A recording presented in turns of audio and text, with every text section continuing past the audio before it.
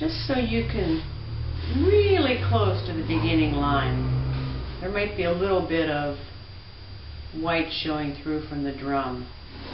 Then I take the scissors, and again, this is like what you need about you need at least an inch. I tend to cut a little more than that. Just sort of cut down along here. So I have some extra to fold under and finish it off. Doesn't have to be, it should be fairly straight, but you're going to make it straight by your fold.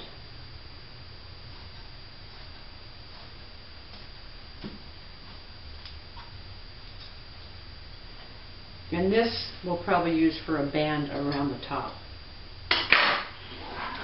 So then I have just this little flap to use. So I sort of eyeball it, turn it down, start working my way down, try to make it as straight as I can. Pressing on it and folding, working my way down. And now with this pattern, I already see as I came around, I didn't really stay straight all the way, but for me, that's okay. For you, it might not be okay, and you might want to take your fabric off and even do it over. It's up to you. So, I'm going to get a pair of glasses for this step. Alright, now, that looks pretty good. Just sort of folded it under. I can work with it as I'm doing it. So then I take a little glue and put it along, don't need much, had too much there. Put it along this spot that's at the end. This stuff dries clear, so got a little messed up there, I'll get rid of it. So you don't have to worry too much about dripping or anything. Then I start to work my way, I'm going to come over here, around and press down on this fold I did, sort of checking it out as I go.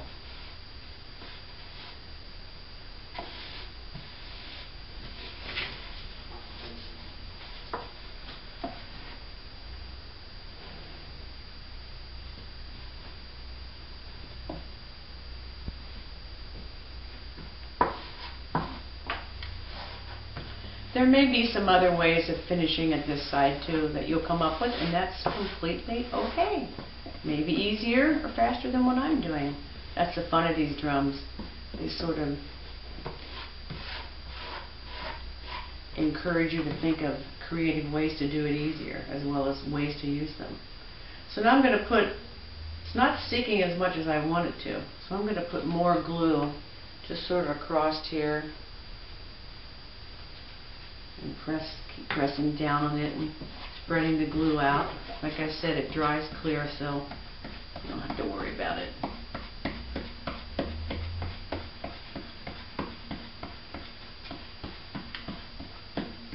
Press down on that fold. I suppose you could even cut your fabric and do a lot of measurements and maybe even iron this fold in and have it all work out. I'm not sure, but that's something you could try. Now, because I didn't cut mine off ahead of time, uh, I have a lot of extra material. So again, I'm going to say, okay, that's where I have to turn it under. I need about that much, so that's what I'm going to cut off, and hopefully this will just rip also all the way around. But I'm going to keep my eye on it in case there's something I missed and it gets too short. So far, so good.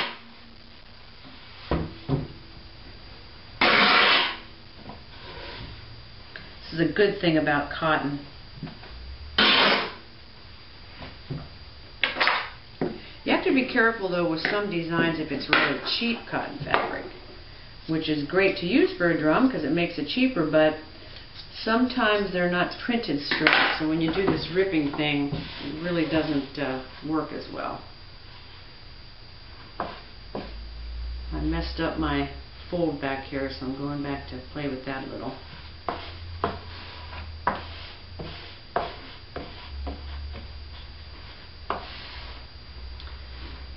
Now, let me check this out.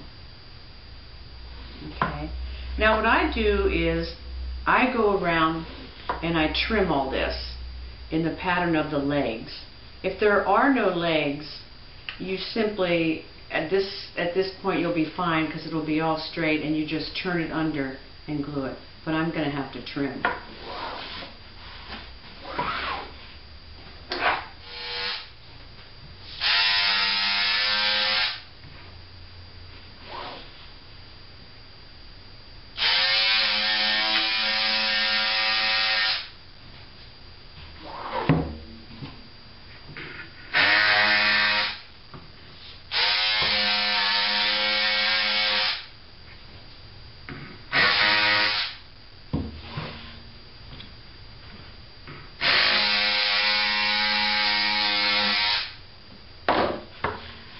Looks like this, sort of like matching the legs.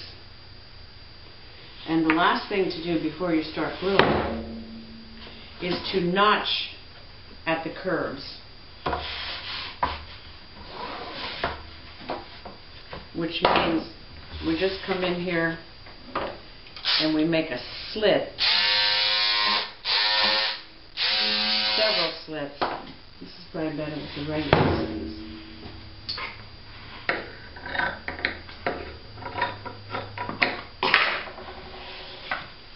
like this. Bunch of little slits. Right up close to the edge. And you do that in each curve. Now I have all the little notches done and also trimmed these edges to within about an inch or an inch and a half of the end because they'll uh, see this will be put down this way and these will come around the side. So now it's another gluing thing where you and I actually like to use my fingers for this. It's messy, but it seems to work better. So I put a bunch of glue on the inside of the sonotube. Maybe you can see that white there. And then a bunch of glue on the fabric. Just be generous. Then you just press up into the inside and press down your pieces.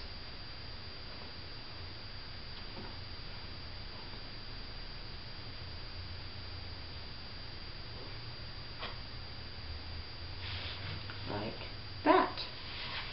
From the outside, it looks like that and you just go all the way around and do that. So, voila! All of the fabric is glued into the inside.